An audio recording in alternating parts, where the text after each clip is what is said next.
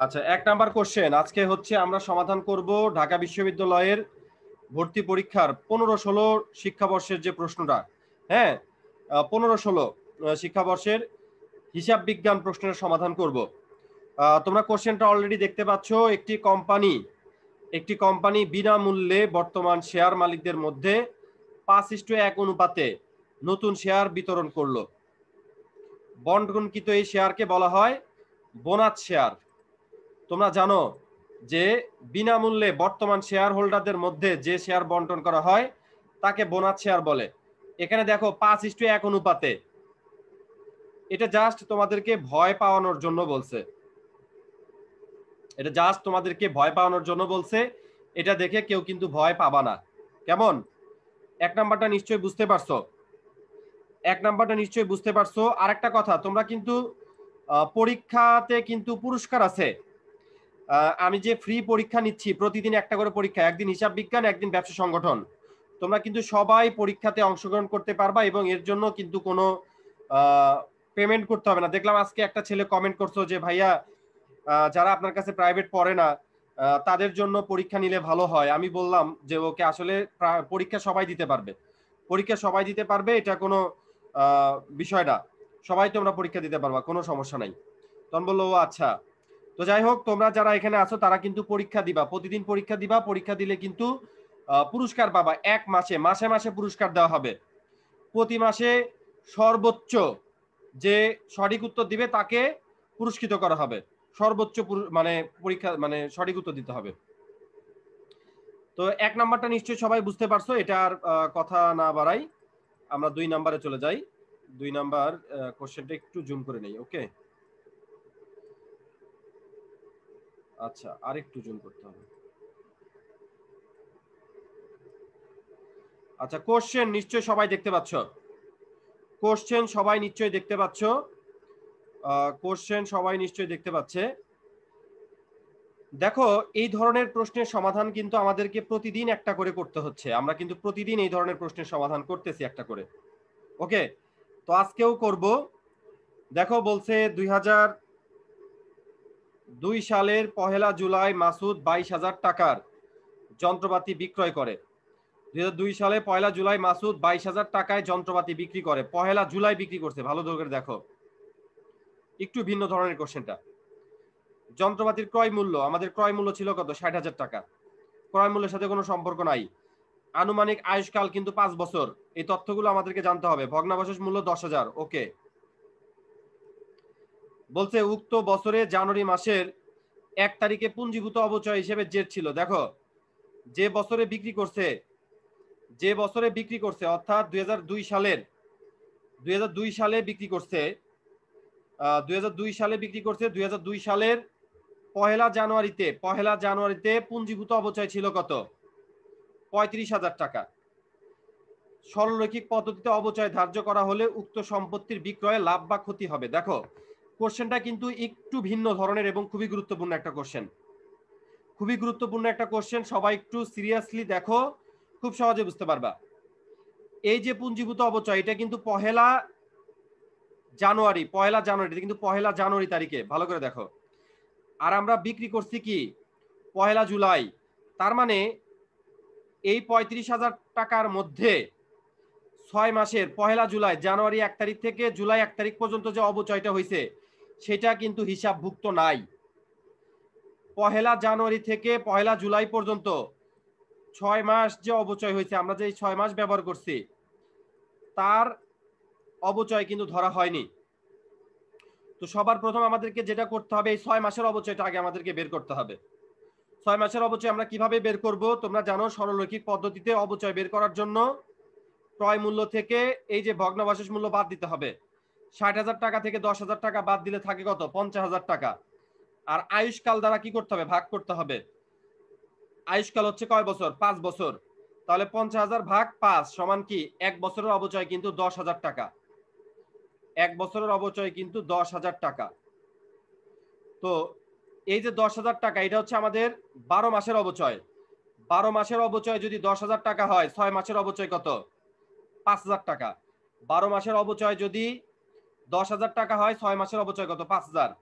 তাহলে দেখো, আমাদের পুঞ্জীভূত অবচয় পহেলা জানুয়ারি ছিল পঁয়ত্রিশ হাজার। আর পহেলা জুলাই পর্যন্ত অবচয় হলো আরও পাঁচ হাজার। তাহলে আমাদের পুঞ্জীভূত অবচয় কত হলো? চল্লিশ হাজার। এইটুকু বুঝতে পারছ কিনা বলো? পুঞ্জীভূত অবচয় চল্লিশ হাজার টাকা কীভাবে বের করলাম? এইটুকু বুঝতে পারছ কিনা বলো? এইটুকু বুঝতে পারছ কিনা বলো? চল্লিশ হাজার টাকা পুঞ্জীভূত অবচয় কীভাবে হলো? এইটুকু বুঝতে পারছ কিনা বলো? এইটুকু। কমেন্ট করে জানাও, এইটুকু বুঝতে পারছ কিনা? পুঞ্জীভূত অবচয়। চল্লিশ হাজার কীভাবে হলো? বুঝতে পারছ? এমডি ইব্রাহিম বলছে এক হাজার হবে। নো এক হাজার কীভাবে হবে? দশ হাজার দশ হাজার টাকা, পাঁচ হাজার টাকা হবে। এক হাজার টাকা হবে না। পুঞ্জীভূত অবচয় আমাদের কত? চল্লিশ হাজার টাকা। দেখো, আমি একটু বইয়ের অ্যান্সারটাও দেখাই। দেখো, আমরা প্রথমে ছয় মাসের অবচয় বের করব। অবচয় বের করার সূত্র কি? ক্রয় মূল্য মাইনাস ভগ্নাবশেষ মূল্য ডিভাইডেড আয়ুষ্কাল। এই যে দেখো, পাঁচ হাজার টাকা। আর পুঞ্জীভূত অবচয় আমাদের আগে ছিল পঁয়ত্রিশ হাজার। অর্থাৎ পয়লা জানুয়ারি তারিখ পর্যন্ত ছিল পঁয়ত্রিশ হাজার। এই বছরে হলো কত? ছয় মাসের হলো কত? আরও পাঁচ হাজার। তাহলে পুঞ্জীভূত অবচয় কত? চল্লিশ হাজার টাকা। এখন আমাদেরকে কি করতে হবে? তোমরা জানো বিক্রি করে লাভ হয়েছে নাকি ক্ষতি হয়েছে এটা ডিপেন্ড করে কার উপরে? এটা ডিপেন্ড করে কিন্তু বহি মূল্যের উপরে বা পুস্তক মূল্যের উপরে। তো বই মূল্য বা পুস্তক মূল্য বের করার সূত্র কি? ক্রয় মূল্য থেকে পুঞ্জীভূত অবচয় বাদ দিতে হবে। ক্রয় মূল্য থেকে পুঞ্জীভূত অবচয় বাদ দিলাম। ক্রয় মূল্য ষাট হাজার টাকা, পুঞ্জীভূত অবচয় চল্লিশ হাজার টাকা। তাহলে আমাদের পুস্তক মূল্য বা বই মূল্য কত? বিশ হাজার টাকা। এই বিশ হাজার টাকার জিনিস আমরা বিক্রি করছি বাইশ হাজার টাকায়। বিশ হাজার টাকার সম্পত্তি বিক্রি করছে বাইশ হাজার টাকাতে। তাহলে বলো, আমাদের লাভ হয়েছে নাকি ক্ষতি হয়েছে? বা কত টাকা লাভ হয়েছে? বলে দাও। সবাই কমেন্ট করে জানাও, কত টাকা লাভ হয়েছে বা ক্ষতি হয়েছে? লাভ হয়েছে দুই হাজার টাকা। আমরা দেখো, পুস্তক মূল্য বের করছি, বই মূল্য বের করছি কত? বিশ হাজার টাকা। আর বিক্রি করছি বাইশ হাজার টাকাতে। লাভ বা ক্ষতি? এই বিশ হাজার চাইতে বেশি দামে বিক্রি করলে লাভ, আর কম দামে বিক্রি করলে ক্ষতি। তাহলে আমাদের লাভ হয়েছে কত? বিশ হাজার টাকার জিনিস বাইশ হাজার টাকা দিয়ে বিক্রি করছি লাভ হয়েছে দুই হাজার টাকা। আশা করি সবাই বুঝতে পারছ। ভেরি গুড ওকে ওকে ওকে আচ্ছা তাহলে যেহেতু তোমরা বুঝতে পারছ, সবাই আলহামদুলিল্লাহ লেখে কমেন্ট করো। আলহামদুলিল্লাহ লেখে কমেন্ট করো। সমস্ত প্রশংসা আল্লাহ পাকের, আমি শুধুমাত্র উচিলা মাত্র। আচ্ছা তিন নম্বরে বলছে, নাহার হার্ডওয়্যার স্টোরের একটি নির্দিষ্ট বছরে নির্ধারে বিক্রয়ের পরিমাণ, দেখো, নির্ধারে বিক্রয়ের পরিমাণ পঁয়ষট্টি লাখ টাকা, এটা ধারে বিক্রয়। বিকৃত পণ্যের ব্যয় বিকৃত পণ্যের ব্যয় হচ্ছে পঞ্চাশ লাখ টাকা।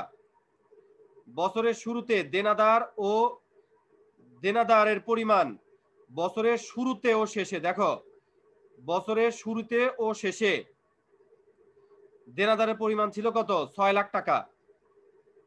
শুরুতে ছিল ছয় লাখ, শেষে কত? সাত লাখ। বলছে, উক্ত বছরের দেনাদার আবর্তন অনুপাত। তোমরা জানো দেবার দেনাদার আবর্তন অনুপাতের সূত্র কি? এই দেখো অ্যান্সারটা দেখাচ্ছি। দেনাদার আবর্তন অনুপাতের সূত্র নির্ধারে বিক্রয় ডিভাইডেড গড় দেনাদার। দেনাদার আবর্তন অনুপাতের সূত্র নির্ধারে বিক্রয় ডিভাইডেড গড় দেনাদার। নির্ধারে বিক্রয় দেয়া আছে পঁয়ষট্টি লাখ। লিখলাম। এই যে, নির্ধারে বিক্রয় পঁয়ষট্টি লাখ, লিখলাম। এখানে বিকৃত পণ্যের ব্যয়ের কিন্তু কোনো কাজ নাই। এটা জাস্ট তোমাদেরকে ভয় পাওয়ানোর জন্য দিছে। নির্ধারে বিক্রয় পঁয়ষট্টি লাখ টাকা। গড় দেনাদার বের করার সূত্র হচ্ছে প্রারম্ভিক দেনাদার, যোগ সমাপনী দেনাদার, ভাগ দুই। প্রারম্ভিক দেনাদার, যোগ সমাপনী দেনাদার, ভাগ দুই। তাহলে ছয় লাখ আর সাত লাখ যোগ করলে কত? তেরো লাখ। তেরো লাখকে দুই দ্বারা ভাগ করলে ছয় লক্ষ পঞ্চাশ হাজার। তাহলে পঁয়ষট্টি লক্ষকে ছয় লক্ষ পঞ্চাশ হাজার ভাগ করলে দশ বার আমাদের দেনাদার আবর্তন অনুপাত দশ বার। অ্যান্সার হচ্ছে কি?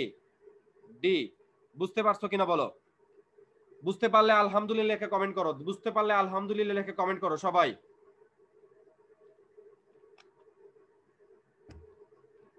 বুঝতে পারলে আলহামদুলিল্লাহ লেখে কমেন্ট করো।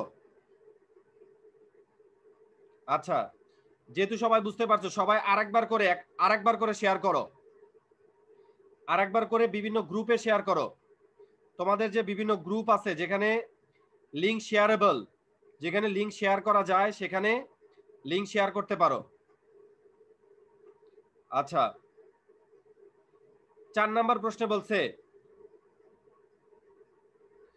নিম্নের কোন প্রতিষ্ঠানটি বাংলাদেশের আর্থিক প্রতিবেদনের মান বিএফআরএস নির্ধারণ করে? ব্যাখ্যা দিয়ে দিচ্ছি, এটা ICAB sorry sorry ICAB M B না সরি ভুল ভুল.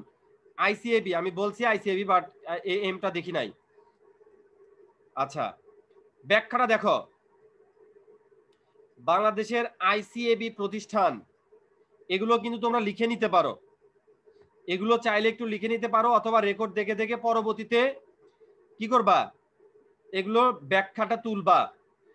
বাংলাদেশের আইসিএবি প্রতিষ্ঠান, যা বাংলাদেশের আর্থিক প্রতিবেদনের মান BFRS ICAB institute of chartered account of Bangladesh যা উনিশশো তিয়াত্তর সালে প্রতিষ্ঠিত হয়।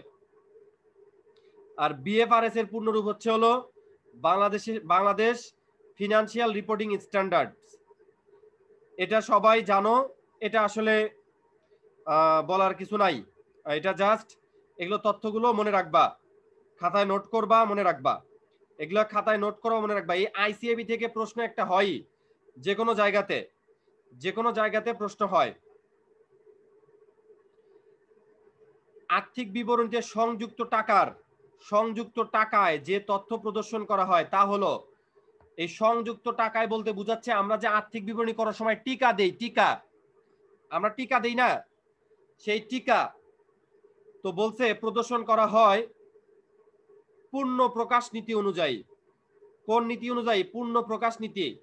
এই যে আমরা যে টিকা ফিকা দেই আর্থিক বিবরণী করার সময়, যে পূর্ণ প্রকাশ নীতি অনুযায়ী আর্থিক বিবরণীতে টিকা সংযুক্ত করা হয় এটাও কি মনে রাখার বিষয়? এই প্রশ্নগুলোই কিন্তু বারবার আসে। আমি একটা কথা বলতেছি, আমি তোমাদেরকে চ্যালেঞ্জ দিয়ে বলতেছি। শতভাগ চ্যালেঞ্জ দিয়ে বললাম।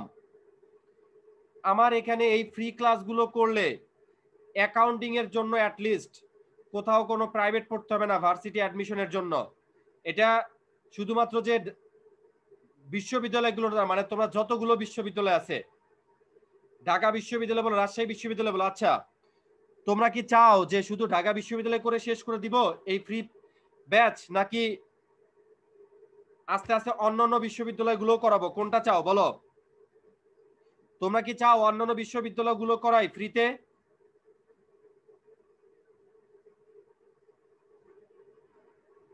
এক্সামে এগুলো কোশ্চেন আসছে স্যার হ্যাঁ এগুলোই কোশ্চেন আছে আচ্ছা তোমরা কি চাও যে সবগুলো বিশ্ববিদ্যালয়ের প্রশ্ন আমি এভাবে সমাধান করাই?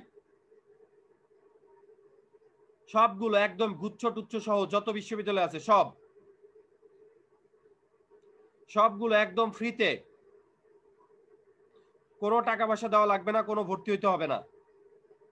কিন্তু এর বিনিময়ে তোমরা আমাকে কি দিবা, বলো? সবগুলো প্রধান প্রধান বিশ্ববিদ্যালয় ছাড়াও গুচ্ছ বিশ্ববিদ্যালয় সব কিছুই করাবো। বলো, তোমরা কি চাও একদম ফ্রিতে, কোনো টাকা দিতে হবে না। কিন্তু এর বিনিময়ে তোমরা আমাকে কি দিবা? এটা বলো যে এর বিনিময়ে আমি কি পাবো তোমাদের কাছ থেকে, এটা একটু বলো। আমি কি পাবো তোমাদের কাছ থেকে এর বিনিময়ে? একটা কথা মনে রাখবা আমি কথা স্পষ্ট বলতে পছন্দ করি, আমি কোনো ভঙ্গিতা পছন্দ করি না। এতে কেউ আমাকে রাগ করে, কেউ আমার উপর কেউ খুশি হয়। যারা তোমাদেরকে বলে যে তোমাদের স্বার্থে কেউ ফ্রি ক্লাস করাচ্ছে, কথাটা একশো পার্সেন্ট মিথ্যা কথা বলে। কেউ তোমাদের স্বার্থে ক্লাস করায় না, সবাই নিজের স্বার্থে করায়। কেউ আর্থিক স্বার্থ, কেউ অনার্থিক স্বার্থ। অনার্থিক স্বার্থটা কি? এই যে দেখো, আমার জনপ্রিয়তা বৃদ্ধি। জনপ্রিয়তা বৃদ্ধি পাচ্ছে, এটাই অনার্থিক স্বার্থ। আমি ফ্রি ক্লাস করাই আমার স্বার্থে, যাতে আমার জনপ্রিয়তা বৃদ্ধি পায়। তো পৃথিবীর সকল সম্পর্ক ট্রানজেকশনাল একটা কথা মনে রাখবা। কিছু পেতে হলে কিছু দিতে হয়, তোমরা আমাকে কি দিবা? নাদিয়া সুলতানা বলছে, দোয়া করব স্যার আপনার জন্য। আচ্ছা কীভাবে দোয়া করবা? স্যার, আপনার প্রচুর প্রচার করব বেশি বেশি। হ্যাঁ নুরজার সান্ত্বনা। সঠিক একটা কথা বলছে। বেশি বেশি করে শেয়ার করতে হবে, বেশি বেশি করে মেনশন করতে হবে। আমি এটা চাই। তোমরা যদি বেশি বেশি করে শেয়ার করো, বেশি বেশি করে মেনশন করো, বেশি বেশি করে পরীক্ষা দাও, তাহলে কিন্তু আমি ঢাকা বিশ্ববিদ্যালয় শেষ করার পর অন্যান্য বিশ্ববিদ্যালয়ের পরীক্ষার প্রশ্ন। ঢাকা, রাজশাহী, চট্টগ্রাম, জাহাঙ্গীরনগর এবং গুচ্ছ বিশ্ববিদ্যালয়গুলো সবগুলোরই সমাধান করো। একদম ফ্রিতে কোনো টাকা দিতে হবে না। কোনো টাকা দিতে হবে না। মোহাম্মদ মুশফিক বলছে অ্যাডমিশন টেস্টে হিসাব বিজ্ঞানের সর্বোচ্চ নাম্বার উপহার দিব ইনশাল্লাহ। আচ্ছা হ্যাঁ। হ্যাঁ তোমরা তুমি তো এটা তো দিবাই। তার পাশাপাশি বন্ধু বান্ধবকে বেশি বেশি করে মেনশন দিবা, বেশি বেশি করে শেয়ার করবা। এটা আমার জন্য। আর তোমাদের জন্য আমি ফ্রিতে ক্লাস নিব। আচ্ছা ওকে নেক্সট নিচের কোনটি হিসাব বিজ্ঞানের উদ্দেশ্য? সিদ্ধান্ত গ্রহণের নিমিত্তে তথ্য সরবরাহ করা, এটা মনে রাখবা। এটা কিন্তু দেখো, প্রত্যেকটা কোশ্চেনেই মোটামুটি এই তথ্য সরবরাহ নিয়ে কিন্তু একটা কোশ্চেন আসতেছে। তথ্য সরবরাহ নিয়ে কিন্তু একটা প্রশ্ন প্রত্যেকটা বার কিন্তু আসতেছে। দেখো, হিসাব বিজ্ঞানের উদ্দেশ্য হচ্ছে সংশ্লিষ্ট পক্ষসমূহকে বা যাদের তথ্য প্রয়োজন, তাদের নিকট সিদ্ধান্ত গ্রহণ উপযোগী তথ্য সরবরাহ করা, হিসাব বিজ্ঞানের প্রধান উদ্দেশ্য। সিদ্ধান্ত গ্রহণের নিমিত্তে তথ্য সরবরাহ করা, মনে রাখবা, একদম মুখস্থ করে ফেলবা। তারপর বলছে এবিসি কোম্পানি থেকে ছয়শো টাকার সরঞ্জাম নগদে ক্রয় করেছে। ABC company X Y Z company থেকে ছয়শো টাকার সরঞ্জাম নগদে ক্রয় করছে। এবিসি কোম্পানি হিসাব সমীকরণে কি প্রভাব পড়বে? এই উত্তরটা তোমরা দিবা। কত নাম্বার হবে বলো? বলো কত নাম্বারটা হবে? দেখি কে বলতে পারে। তোমাদের সিক্স সেন্স পরীক্ষা করি। সবাই কমেন্ট করে জানাও। সবাই কমেন্ট করে জানাও। সবাই। সবাই কমেন্ট করে জানাও, কোনটা হতে পারে? দেখি, একটু তোমাদের ভাববার সুযোগ দিলাম, আমি তো বলে দিবই।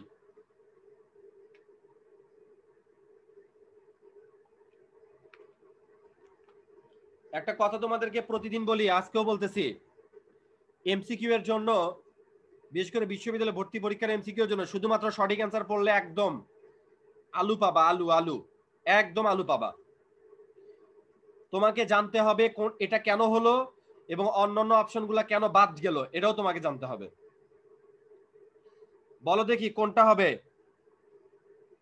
আচ্ছা ম্যাক্সিমাম বলতেছে সি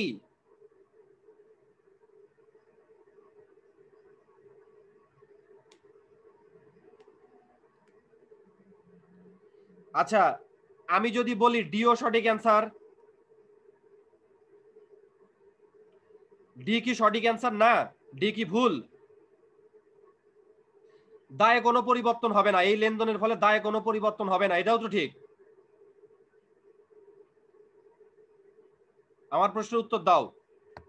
কমেন্টে জানাও, দায়ে কি কোনো পরিবর্তন হবে এই লেনদেনের কারণে?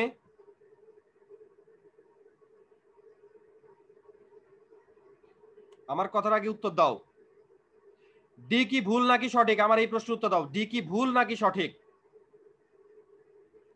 আমি দেখো বারবার একটা কথা তোমাদেরকে কিন্তু বলি যে শুধুমাত্র সঠিক অ্যান্সার বললে ভুল করবা। যেমন ধরো সম্পদ ও দায় বৃদ্ধি, এটা তো ভুল। এখানে সম্পদ বৃদ্ধি পাবে, কিন্তু দায়ে বৃদ্ধি পাবে না।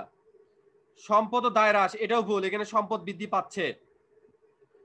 সম্পদে কোনো পরিবর্তন হবে না, এটাও ঠিক। দায়ে কোনো পরিবর্তন হবে না, এটাও ঠিক।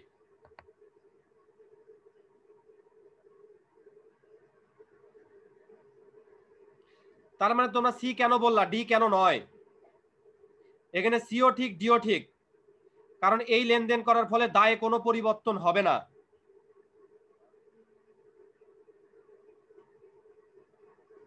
কেউ কি বলতে পারবা?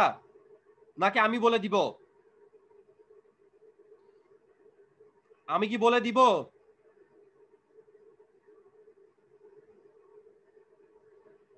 আচ্ছা দেখো আমি বলে দেই। সিও ঠিক, ডিও ঠিক। কিন্তু C correct answer D correct answer না। তার কারণ হলো, আমরা কিনতেছি কিন্তু কি সম্পদ সংক্রান্ত। আমরা কিনতেছি কি সম্পদ। অর্থাৎ ডি ঠিক, কিন্তু এই লেনদেন অনুযায়ী কোন কোম্পানি থেকে ছয়শো টাকার সরঞ্জাম ক্রয় করলে নগদে ক্রয় করছে। এদিক থেকে সম্পদ বৃদ্ধি পাচ্ছে আবার সম্পদ কি পাচ্ছে? সম্পদ প্লাস হচ্ছে, সম্পদ মাইনাস হচ্ছে। এই লেনদেনটা কি দায় সংক্রান্ত নাকি সম্পদ সংক্রান্ত? কমেন্ট করে জানাও।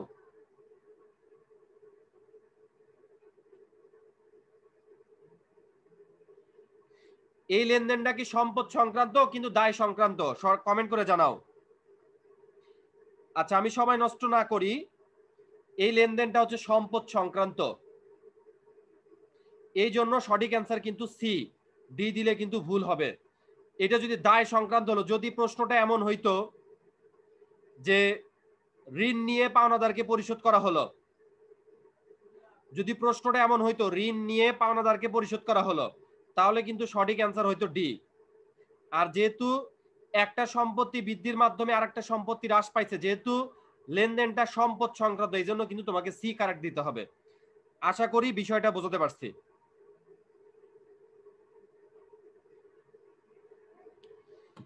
একটি চেক যা সঠিকভাবে ব্যাংক কর্তৃক লিখিত ও পরিশোধিত হয়েছে। চারশো আটচল্লিশ টাকায়। কিন্তু ভুলবশত নগদান বইতে চারশো চুরাশি টাকায় লেখা হয়েছে। ব্যাংক সমন্বয় বিবরণীতে কোন জন্য নিম্নের কোনটি সঠিক? দেখো, লেখার কথা ছিল চারশো আটচল্লিশ। তুমি লিখছো চারশো চুরাশি। বেশি কত লিখছো বলো? নগদান বইতে বেশি কত লিখছো? নগদান বইতে বেশি কত লিখছো?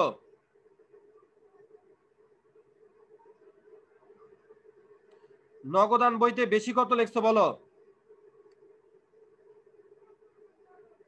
সরি সরি বেশি লিখছো নাকি কম লিখছো? হ্যাঁ বেশি কমাইছো হ্যাঁ নগদান বইতে বেশি কমাইছো কত বলো? ছত্রিশ টাকা। তাহলে বলো, সঠিক অ্যান্সার কোনটা হবে? সঠিক অ্যান্সার কোনটা হবে বলো? সঠিক অ্যান্সার সঠিক অ্যান্সার সঠিক অ্যান্সার কোনটা হবে বলো? সঠিক অ্যান্সার।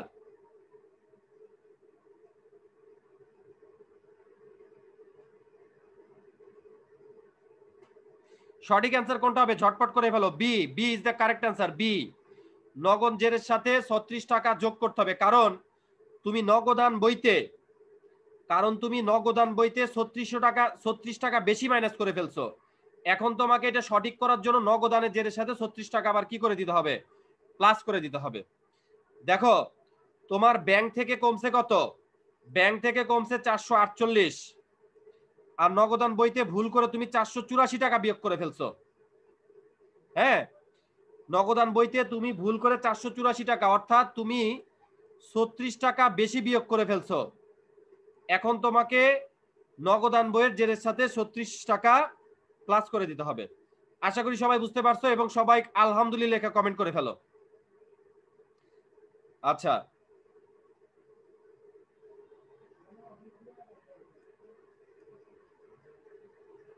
আলহামদুলিল্লাহ কমেন্ট করে ফেলো আর সবাই কিন্তু পরীক্ষা দিবা। সবাই পরীক্ষা দিবা নিজেকে জাজ করার জন্য। বইয়ের হেল্প নিয়ে পরীক্ষা দিতে পারো। দেখো, সায়েম ও সাবরিনা অংশীদারি ব্যবসায় দুইজন অংশীদার। এই ধরনের প্রশ্ন কিন্তু প্রতিদিন করতে হচ্ছে। পয়লা জানুয়ারি দুই হাজার চোদ্দ তারিখে বিনিয়োগকৃত মূলধনের পরিমাণ ছিল পঞ্চাশ হাজার, ষাট হাজার। এটা হচ্ছে সাইমের, এটা হচ্ছে কি? এটা সাইমের, এটা সাবরিনার। উক্ত হিসাবকালের মাঝামাঝি সময়ে সেলিম ব্যবসায় অংশীদার হিসেবে চুক্তিবদ্ধ হয়। সেলিম নামে একজন অংশীদার নতুন আসে। এক্ষেত্রে তার বিনিয়োগকৃত মূলধনের পরিমাণ কত? এক লাখ টাকা। ভালো করে দেখো, এই প্রশ্নটা জাস্ট এক লক্ষ টাকা মূলধন নিয়ে আসছে এবং মাঝামাঝিতে আসছে। এটা খেয়াল রাখতে হবে। এক লক্ষ টাকা মূলধন নিয়ে আসছে এবং মাঝামাঝি নিয়ে আসছে। অংশীদারদের চুক্তি অনুযায়ী বিনিয়োগকৃত মূলধনের উপর দশ পার্সেন্ট সুদ। দুই সালের একত্রিশ নম্বর তারিখে সেলিমের মূলধনের সুদ কত? সেলিমের মূলধনের সুদ কত? তোমরাই বলো সেলিমের মূলধনের সুদ কত? হারিয়া বলে ফেলো বলে ফেলো, তাড়াতাড়ি। বললে ফেলেই, বললেই খেলা হবে। সেন্ট মার্টিনে খেলা হবে, সেন্ট মার্টিনে। খেলা হবে, দেখা হবে সেন্ট মার্টিনে। যারা বিশ্ববিদ্যালয়ে চান্স পাবা, তাদের সাথে। বলো দেখি, সবাই ঝটপট কমেন্ট করে ফেলো। সেলিমের মূলধনের সুদ কত?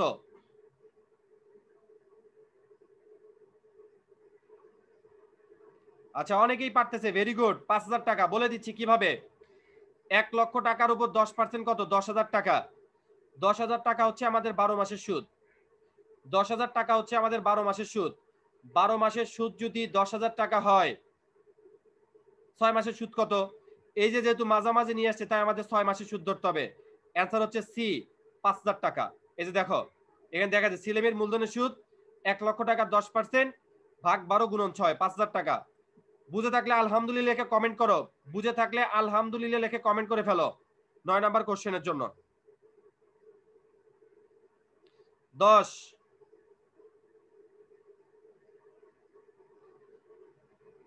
আচ্ছা। লেদারেক্স শু স্টোরের প্রারম্ভিক মজুদের জের পনেরো হাজার টাকা।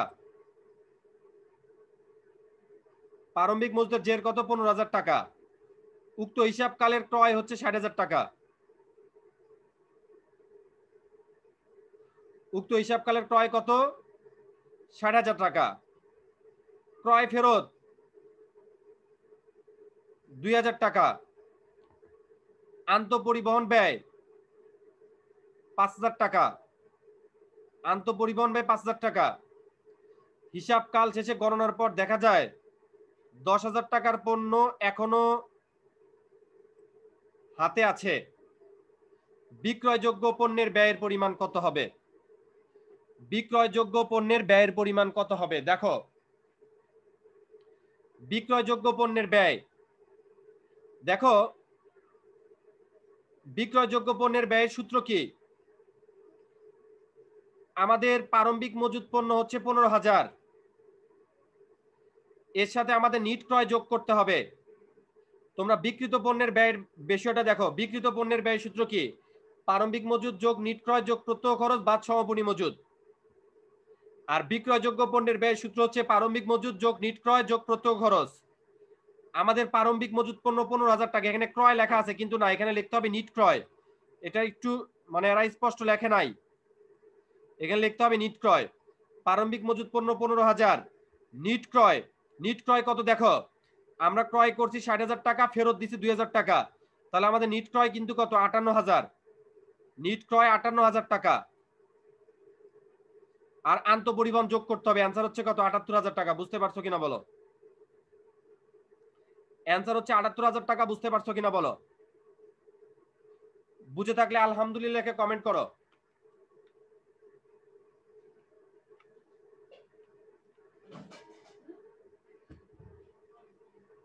আচ্ছা। লাইভ কি চলবে নাকি অফ করে দিব?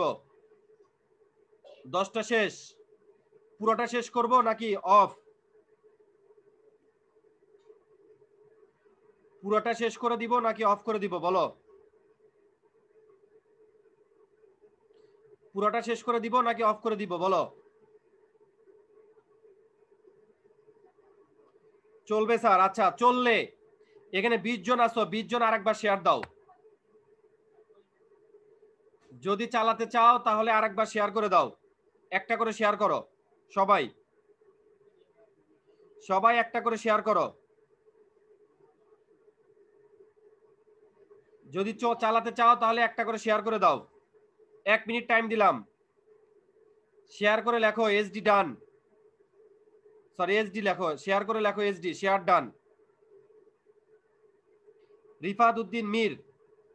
মাত্র অ্যাড হলাম স্যার কয়টা আছে? আট, দশটা আছে। কেবল অর্ধেক শেষ। শেষ করেন স্যার পুরোটা। শুধু ইসলাম শিফাত। শেয়ার করে দাও, শেয়ার শেয়ার করে দাও। আমি দেখতে চাই।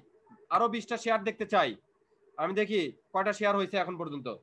শেয়ার হয়েছে মাত্র এগারোটা। এর চাইতে দুঃখজনক আর কোনো কিছু হইতে পারে না।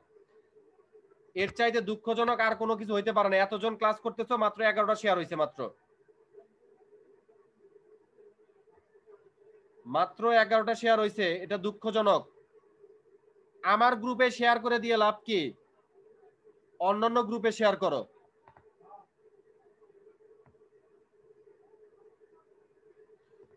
অন্যান্য গ্রুপে শেয়ার করে দাও বা নিজের প্রোফাইলে শেয়ার করে দাও।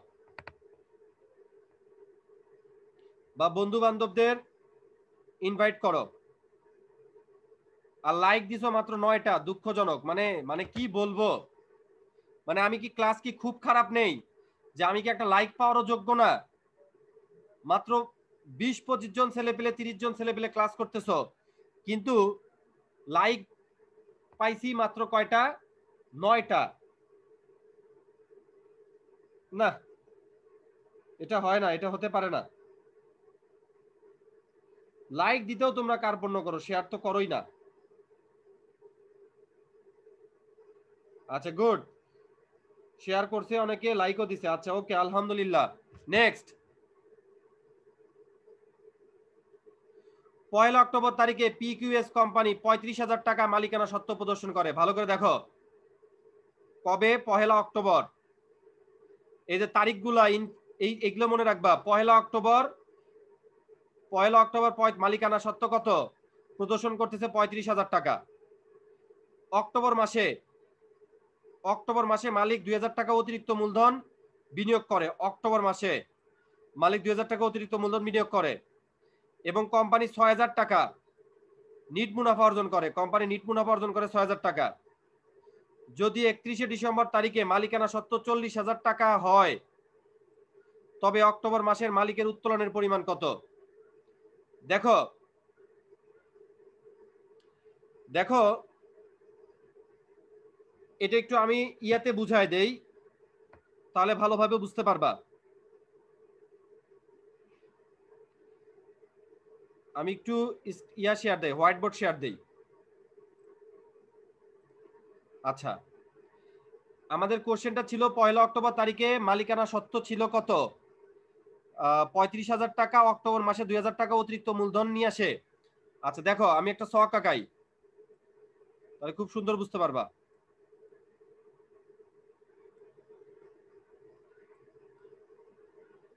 দেখো, আমাদের ধরো প্রারম্ভিক মূলধন। প্রারম্ভিক মূলধন দেয়া আছে পঁয়ত্রিশ হাজার। আমরা লিখে দিলাম পঁয়ত্রিশ।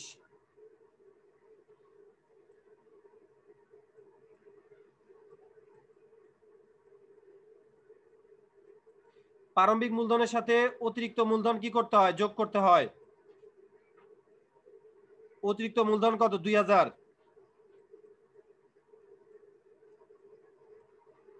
যোগ করলে কত হবে? সাঁত্রিশ হাজার।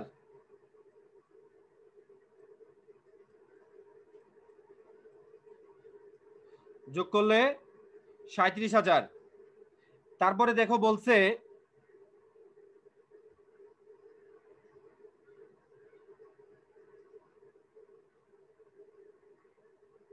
তারপর বলছে যে, কোম্পানি ছয় হাজার টাকা নিট মুনাফা অর্জন করে। মুনাফা করলে মালিকানা সত্ত্বের পরিমাণ কি পায়? বৃদ্ধি পায়। মুনাফা আমাদের যোগ করতে হবে। কয় টাকা যোগ করতে হবে? ছয় হাজার টাকা।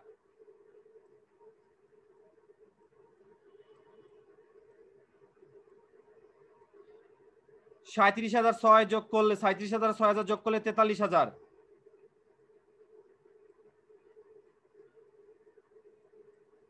ওকে? তেতাল্লিশ হাজার টাকা।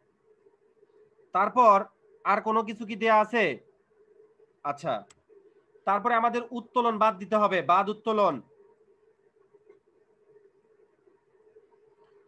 উত্তোলনটা আমাদের বের করতে হবে, বের করা নাই। উত্তোলন বাদ দেওয়ার পর যেটা বেরোয় তার নাম হচ্ছে সমাপনী মূলধন। আমাদের সমাপনী মূলধন কোশ্চেনে দেয়া আছে। সমাপনী মূলধন দেয়া আছে চল্লিশ হাজার টাকা। সমাপনী মূলধন দেয়া আছে চল্লিশ হাজার টাকা। এবার তোমরাই বলো উত্তোলনের পরিমাণ কত, আমি বলে দিলাম না। প্রারম্ভিক মূলধন পঁয়ত্রিশ হাজার টাকা দেওয়া আছে, অতিরিক্ত মূলধন দেয়া আছে দুই হাজার টাকা, মুনাফা দেয়া আছে ছয় হাজার টাকা, এটা হচ্ছে তেতাল্লিশ হাজার টাকা। তারপর এখান থেকে এই তেতাল্লিশ হাজার টাকা থেকে উত্তোলন বাদ দিতে হয়। বাদ দেওয়ার পর সমাপনী মূলধন বেরোয় এই তেতাল্লিশ হাজার টাকা থেকে উত্তোলন বাদ দেওয়ার পর চল্লিশ হাজার টাকা সমাপনী মূলধন বেরোইছে তাহলে তোমরাই বলো উত্তোলনের পরিমাণ কত? তাহলে তোমরাই ঝটপট বলে দাও উত্তোলনের পরিমাণ কত? ঝটপট।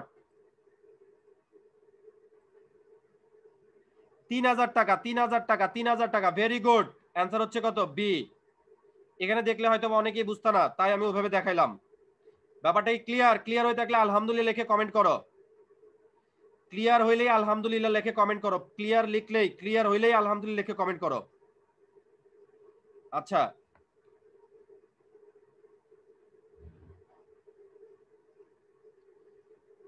একটি প্রতিষ্ঠানের নগদ আশি হাজার টাকা, দেখো, দিয়ে ভূমি ক্রয় করল। ভূমি সম্পত্তির দালালের কমিশন পাঁচ হাজার টাকা।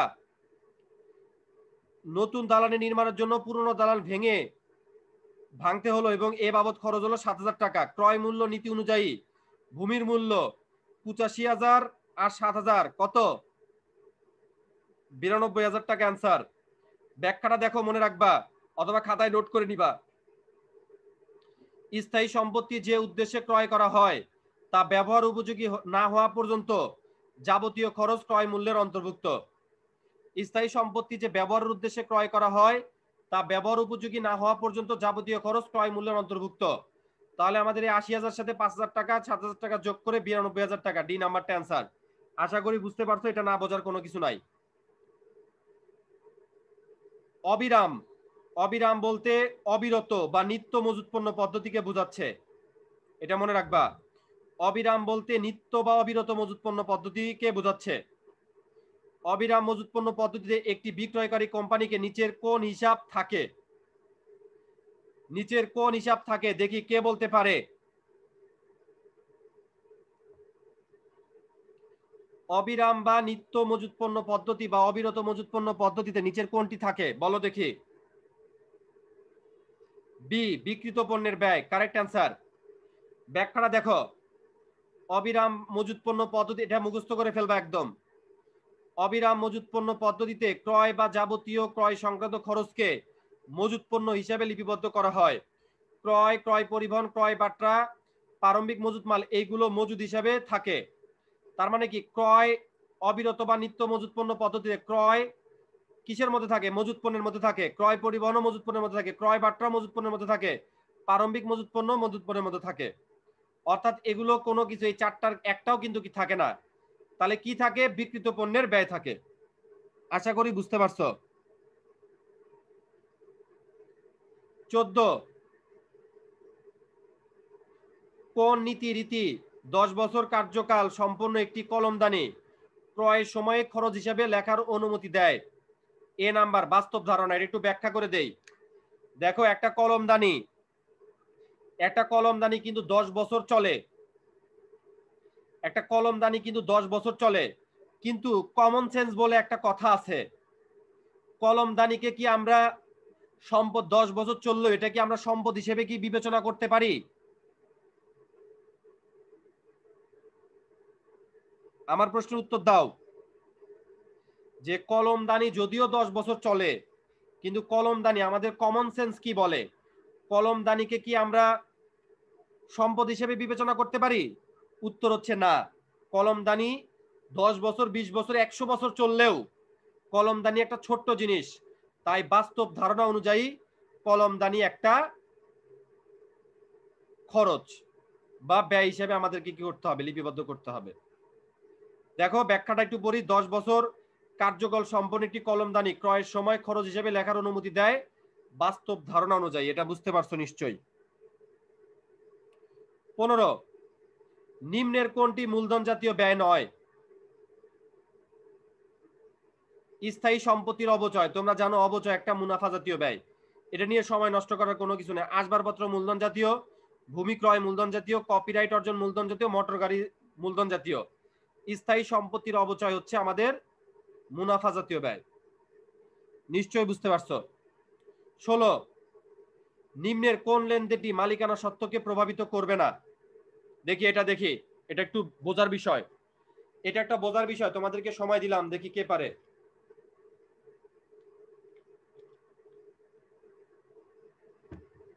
এটা একটা বোঝার বিষয়, দেখি কে পারে।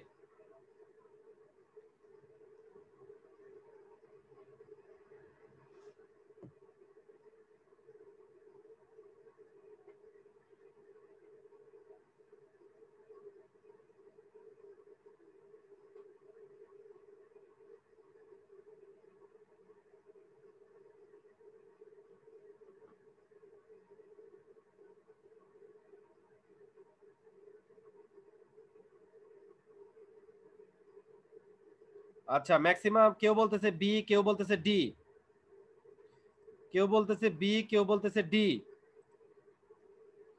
কেউ বি বলতেছে, কেউ ডি বলতেছে। কেউ বলতেছে বি কেউ বলতেছে ডি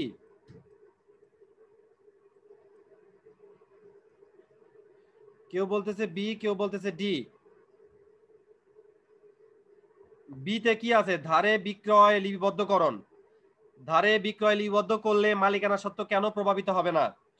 ধারে বিক্রি করলেও সেটা আমাদের আয়। আয় হইলে মালিকানা সত্ত্ব বৃদ্ধি পায়।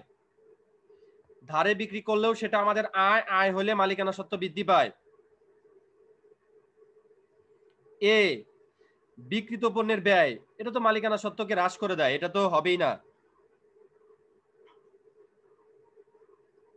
নগদে বিক্রয় বিক্রয় করলে তো আয় হয়, এটাও হবে না।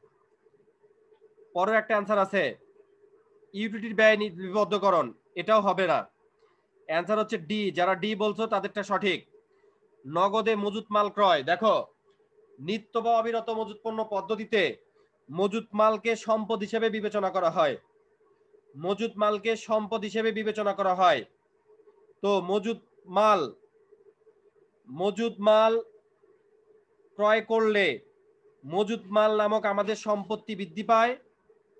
এবং নগদ টাকা সম্পত্তি হ্রাস পায়। আশা করি বুঝতে পারছ? বুঝে থাকলে আলহামদুলিল্লাহকে কমেন্ট করো। কোন প্রতিষ্ঠানের প্রারম্ভিক মজুদ এক হাজার একক, সমাপনী মজুদ আটশো একক, বিক্রয় ছয় হাজার দুইশো একক।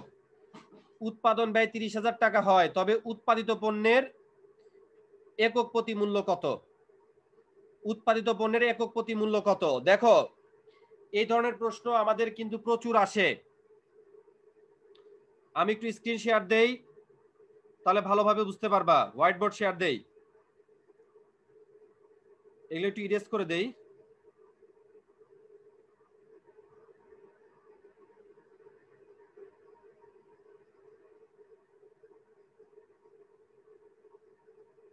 আচ্ছা এটা একটু ইরেজ করে দিলাম।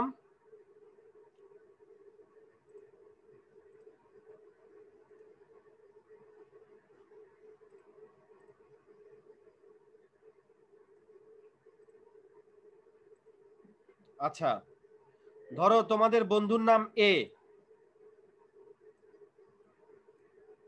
এটা দেখো, এটা কিন্তু খুবই গুরুত্বপূর্ণ। এটা বুঝে, একবার বুঝাই দিচ্ছি, আর কোনোদিন ভুলবা না। তোমাদের ক্লাসরুমে তোমাদের ক্লাসরুমে দশটা কলম নিয়ে প্রবেশ করল। এটা ধরো এ তোমাদের বন্ধু হচ্ছে তোমাদের ক্লাসরুমে দশটা কলম নিয়ে প্রবেশ করল।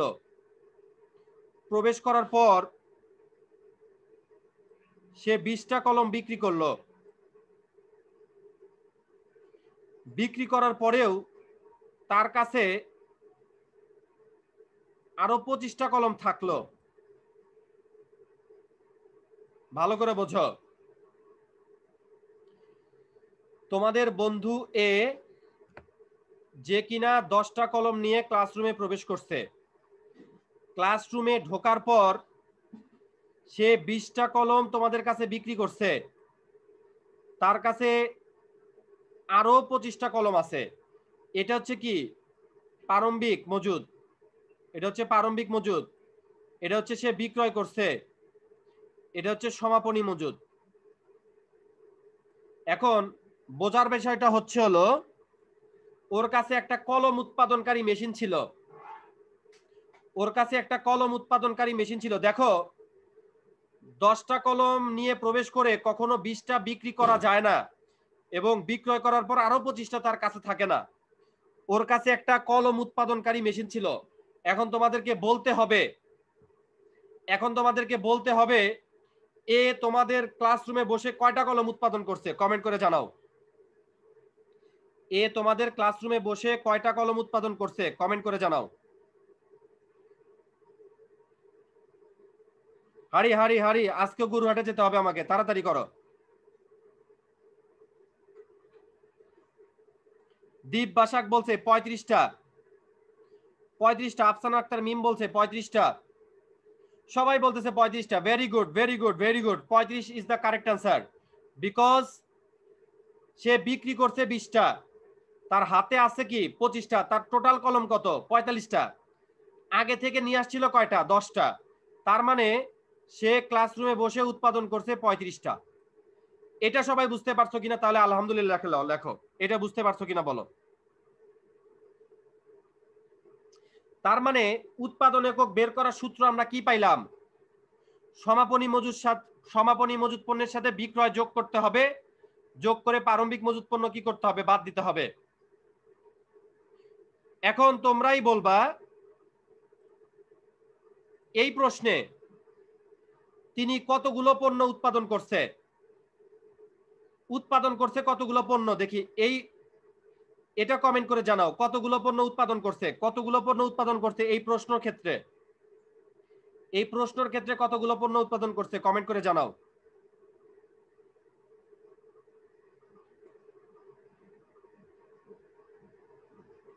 এই প্রশ্নের ক্ষেত্রে কতগুলো পণ্য উৎপাদন করছে? কমেন্ট করে জানাও। আচ্ছা একজন বলছে ছয় হাজার। আচ্ছা। ছয় হাজার, ম্যাক্সিমা বলতেছে ছয় হাজার ছয় হাজার। Very good very good very good ছয় হাজার। আচ্ছা কীভাবে ছয় হাজার? দেখো, তার হাতে আছে আটশো। বিক্রি করছে কত? ছয় হাজার দুইশো। তাহলে টোটাল ছিল কত? সাত হাজার। আর আগে থেকে ছিল কত? এক হাজার। তাহলে উৎপাদন করছে কত? ছয় হাজার। কথা বুঝতে পারছ কিনা বলো? এই ছয় হাজার পণ্য উৎপাদন করতে খরচ হয়েছে তিরিশ হাজার টাকা। ছয় হাজার পণ্য উৎপাদন করতে খরচ হয়েছে তিরিশ হাজার। তোমরাই বলো, প্রতি এককের উৎপাদন খরচ কত টাকা? প্রতি এককের উৎপাদন খরচ কত? পাঁচ, ছয়, তিরিশ। পাঁচ টাকা। অ্যান্সার হচ্ছে কি? বি। বুঝতে পারছ কিনা বলো? সতেরো নম্বর বুঝতে পারছ কিনা বলো?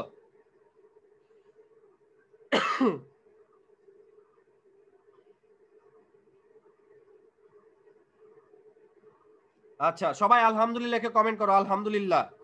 আর মাত্র তিনটা আছে। নিম্নের কোন ভুলটি রেওয়া মিলের সাহায্যে ধরা পড়ে? যে লেনদেন জাবেদাভুক্ত হয়নি, এটা ধরা পড়ে না, কারণ জাবেদাভুক্ত না হলে সেটা তো কোথাও হিসাবভুক্ত হয়নি, হবে না। একটি জাবেদা দাখিলা দুইবার খতিয়ানে পোস্টিং দেওয়া হয়েছে। এই ভুলও কি ধরা পড়বে না? লেনদেনে সরি বি নাম্বারই তো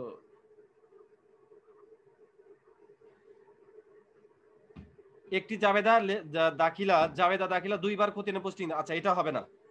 লেনদেন লিপিবদ্ধকরণে পরিপূরক ভুল, এটাও হবে না। লেনদেন স্থানান্তরে ভুল।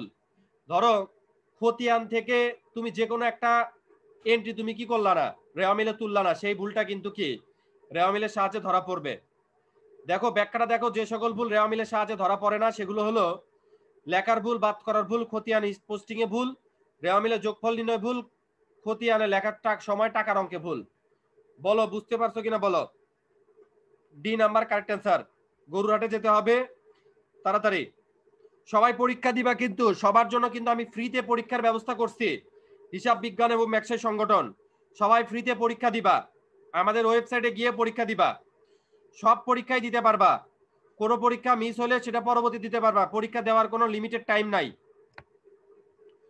নিম্নের কোন হিসাব লিপিবদ্ধকরণের সঠিক ক্রম সঠিক ক্রম বলতে কি বোঝায়? একের পরে দুই, দুইয়ের পরে তিন, তিনের পরে চার এটা দেখো, বলছে স্থানান্তকরণ, জাবেদাকরণ, বিশ্লেষণ। না, প্রথমে বিশ্লেষণ, তারপরে জাবেদাকরণ তার মানে এটা ভুল। জাবেদাকরণ, বিশ্লেষণ, ভুল। আগে বিশ্লেষণ, তারপর জাবেদাকরণ। সি নাম্বার বলছে বিশ্লেষণ, স্থানান্তরকরণ, জাবেদাকরণ, ভুল। প্রথমে বিশ্লেষণ, তারপরে জাবেদাকরণ তারপরে ওইটা। ডিতে বলছে, বিশ্লেষণ জাবেদাকরণ স্থানান্তরকরণ আমার মনে হচ্ছে ডি নাম্বারই কারেক্ট। কি বলো? প্রথমে বিশ্লেষণ, তারপরে জাবেদাকরণ তারপরে খতিয়ানে স্থানান্তরকরণ D is the correct answer, বুঝতে পারছ কিনা বলো? Last number. আগে অ্যান্সার ধরে দিলাম রে। আচ্ছা বার করছি যেহেতু সময় নাই। নিম্নের কোনটি স্বল্প মেয়াদী তারল্যের মাপকাঠি হিসেবে অপেক্ষাকৃত কম গুরুত্বপূর্ণ? উত্তর সি, দায় অনুপাত। ব্যাখ্যাটা কি? দায় অনুপাত একটি সচ্ছলতার অনুপাত। দায় অনুপাতটা হচ্ছে সচ্ছলতার অনুপাত। আর তারল্য দিয়ে বুঝায় তড়িৎ বা অগ্নি পরীক্ষা, চলতি অনুপাত, চলতি কার্যক্রম হতে নগদ প্রবাহ, দেনাদার আবর্তন। তার মানে কি? এই দায় অনুপাতটা হচ্ছে সচ্ছলতার অনুপাত। আর বাদ বাকি সবগুলো হচ্ছে কি? তারল্যের মাপকাঠি। আশা করি আশা করি সবাই বুঝতে পারছ। কি বলো? আচ্ছা তোমাদেরকে একটা কথা বলে নেই।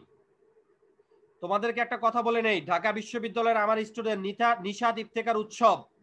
ঘোষণাটা ভালো করে শোনো। নিশাদ ইফতেকার উৎসব, ঢাকা বিশ্ববিদ্যালয়ের স্টুডেন্ট আগামী শুক্রবার রাত আটটায় লাইভে আসবে। বিজনেস স্কুলের ফেসবুক পেজ থেকে। তোমরা কি সেই লাইভে অংশগ্রহণ করতে চাও? বা তার কাছ থেকে পরামর্শ নিতে চাও? নিশাদ ইফতেকার উৎসবের কাছ থেকে কি পরামর্শ নিতে চাও? নিষাদ ইফতেকার উৎসবের কাছ থেকে কি পরামর্শ নিতে চাও কিনা বলো? ভাইয়াকে চিনি আমি, কীভাবে চেনো? কে কে চাও? আমার স্টুডেন্ট নিশাদ ইফতেকার উৎসব। ও আসতেছে। আচ্ছা সে বলছে, একশো শেয়ার না হলে নাকি আসবে না। কারণ অল্প স্টুডেন্টের মধ্যে আইসা তো আসলে মজা নাই। কে কয়জনকে? আমি ফেসবুক পেজে কিন্তু পোস্ট করছি। ফেসবুক পেজে কিন্তু পোস্ট করছি। সেই পে পোস্টে কে কয়জনকে মেনশন করবা? আমাদের ফেসবুক পেজে গিয়ে নিশাদ ইফতেকার উৎসবের যে পোস্ট দিছি সেই পোস্টে কে কয়জনকে মেনশন করবা, বলো? কে কয়জনকে মেনশন করবা?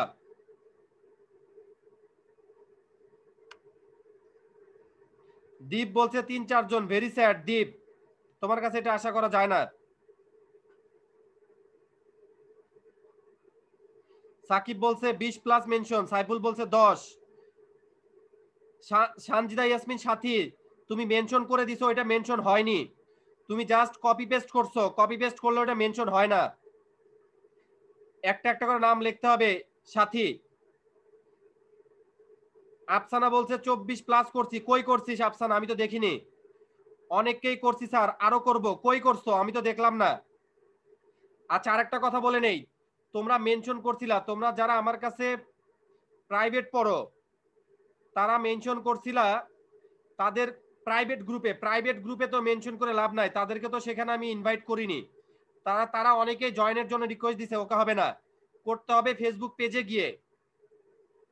ফেসবুক পেজে গিয়ে করতে হবে। কে কয়জনকে মেনশন করবা বলো? আমি আজ, এখন আধা ঘণ্টা টাইম দিলাম তোমাদেরকে। কমপক্ষে এক একজন বিশ জনকে মেনশন করবা এবং সবাই শেয়ার করবা। সবাই শেয়ার করবা, নইলে কিন্তু নিশাদ ভাইয়া আসবে না। বলে দিছে। ফেসবুক পেজে গিয়ে মেনশন করতে হবে এবং অথবা ফেসবুক পাবলিক গ্রুপে গিয়ে প্রাইভেট গ্রুপে হবে না। আমি একশো জনকে, আরাফান, আরফান খান বলছে একশো জনকে। আচ্ছা ভেরি গুড দেখি তুমি কয়জনকে করো। আচ্ছা তো সবাই ফেসবুক পেজে গিয়ে মেনশন করা শুরু করে দাও। সবাই ভালো থাকবা, আল্লাহ হাফেজ।